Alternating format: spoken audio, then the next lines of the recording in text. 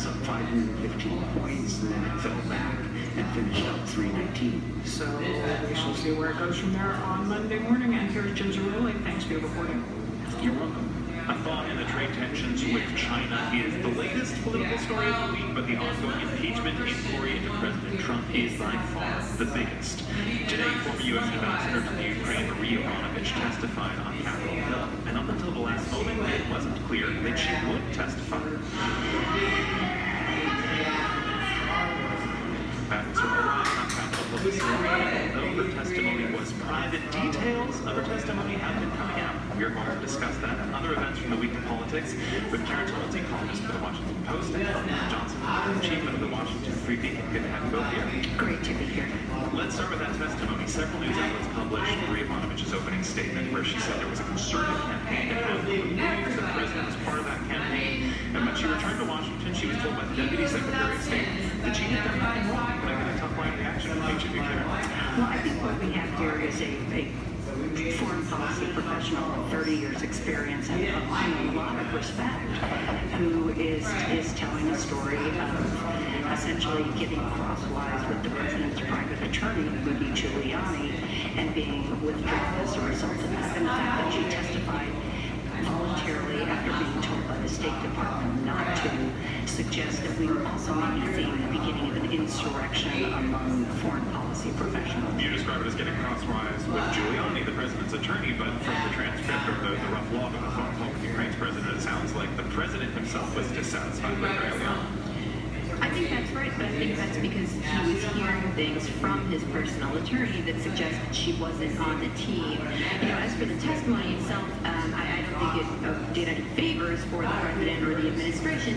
At the same time, I don't think it's likely to fuel the uh, impeachment fires uh, in the same way that the release of the whistleblower complaint or the transcript of the president's phone call with the Ukrainian president did. Because at the end of the day, the president, the, the president's ambassadors are, uh, they represent the president, and he is entitled to remove them for whatever reason he wants. So with this testimony in particular, I don't think it's likely to have the same explosive impact that we've seen with previous, uh, with previous revelations uh, relating to the Democrats' impeachment effort. Well, another big surprise in the impeachment inquiry or related to the impeachment inquiry came just two days ago when two associates of Rudy Giuliani, the president's personal lawyer, were arrested at Dulles Airport with one-way tickets out of the country.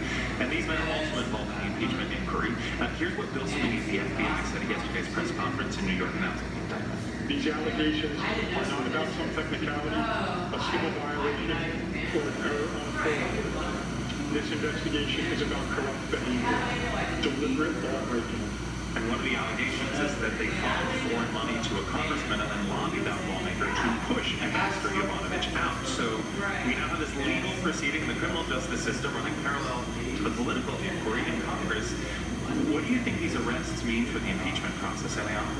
You know, I think what they show, President Trump ran against the government as it existed, and a lot of presidents uh, run that sort of anti-establishment campaign. But this president never made peace with, uh, with the government, has continued to call it the deep state, and he's instead really relied on outside advisors, including Rudy Giuliani and these sorts of cronies who have made war on the government as it exists.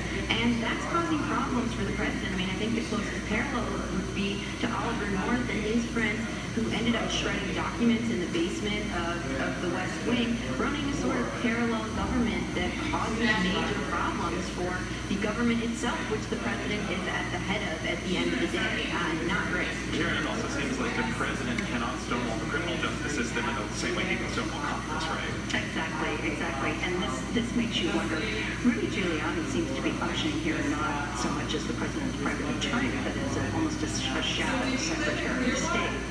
And all of a sudden you have the president having to sort of distance himself from these two associates of Giuliani, even though there are multiple pictures of the president, you know, having dinner with them, and even and at this point, Trump, you know, President Trump saying, well, I don't really know those guys. Right. You've got to wonder how tenable uh, Rudy Giuliani's own position here is if, if this sort of thing continues, and depending on how far it goes, because this is a very serious campaign finance violation for foreign money into a U.S. election. So let's talk about the political implications of all this. I want to play you two cuts of tape. The first is Trump, President Trump at a rally last night in Minneapolis. The Democrats' brazen attempt to overthrow our government will produce a backlash at the ballot box, the likes of which they have never, ever seen before in the history of this country. He says it's a political winner, and in another part of the program, we speak with Democratic Congressman Eric Swalwell, a member of the House Intelligence Committee, who heard from the former ambassador to Ukraine, to former ambassador to Ukraine today. Here's his view. The more we hear from, the more documents we review, puts more arrows in only one direction, which is that the President of the United States used our taxpayer dollars to extort the Ukrainians to only help himself. So, political winner or political loser, Uh, there were two polls out this week, one by the Washington Post and one by Fox News. Both of them show a dramatic increase in support for at least an impeachment inquiry. And both of them so, show something else that's even more surprising, which is growth in Republican support for an impeachment inquiry. So, um, you know, the president may be sort of whistling for the wind here. What do you think, Eliana? Do you agree? I don't know, and I think we will get the answer to that at the ballot box in 2020. I think these are the arguments you're going to hear from Republicans and Democrats, from the president and his eventual Demo- from the eventual Democratic nominee uh, between now and election day. Before we get to the ballot box in 2020, we have to get to the Democratic primary, and I wonder how you think the Democrats are responding to this, whether they're taking full advantage of it, and particularly Biden, whose family is the subject of Trump's focus in Ukraine. This week, for the first time, he came out in favor of impeachment. Here's what he said at a town hall in New Hampshire. Donald Trump has violated his oath of office, betrayed this nation, and committed impeachable acts.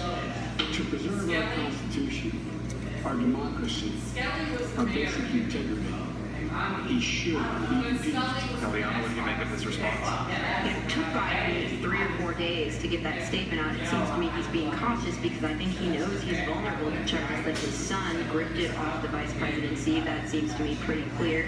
Uh, and so he, he was slow, as he's been many times, and he seems to me a rickety frontrunner. And just briefly, Karen. Yeah, he's a lagging indicator in the, uh, in the Democratic field on this one. Karen Tumulty of the Washington Post and Eliana Johnson of the Washington Free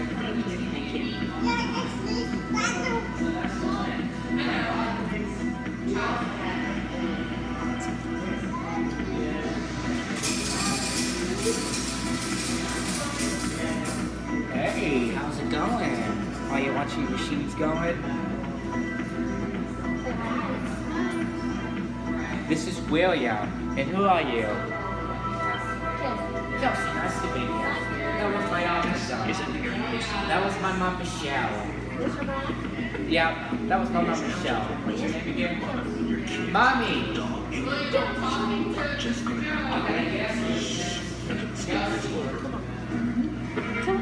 The story's over. Beat. Listen.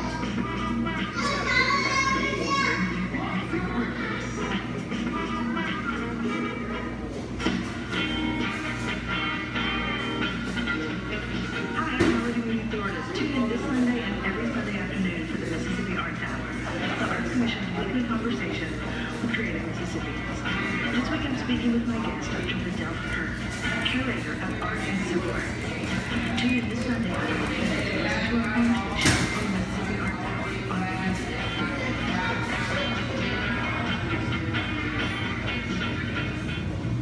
Support for APP and Volunteer Mississippi, urging listeners to take the path less traveled, to break the status quo, and to take a moment to shape the future, be the greater good.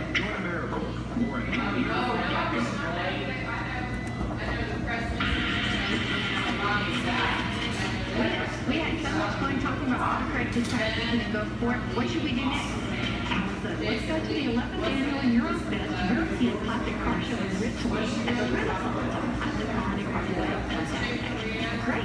Guest for the host department is Tony Fair at 2 p.m. At Eurofest in Richmond on Saturday, we can talk about autocorrect for Thursdays at 10 a.m. on ABC Radio. This is MPB Radio. Mississippi is our mission.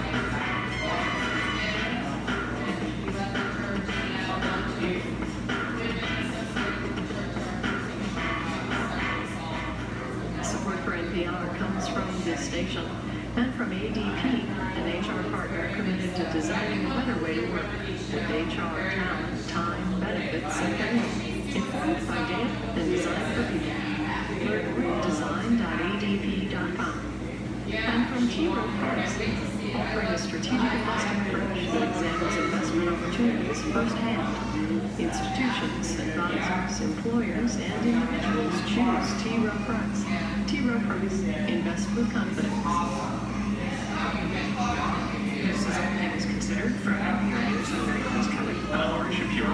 Virginia is one of a handful of states holding off-year elections in November, and gun has emerged as a key campaign issue there, amplified by the mass shooting in Virginia Beach this past May that left no people dead. National gun control groups see an opportunity to flip the Republican-controlled state legislature, and they're spending more than ever before on these local races. And here's Melissa Block profiles one race that could be an outlet for 2020. In Virginia Beach, F-18 fighter jets from the local Naval Air Station are a constant soundtrack. People will tell you that's the sound of freedom. And so, no surprise, in this heavily militarized city, the two candidates vying for the 8th District State Senate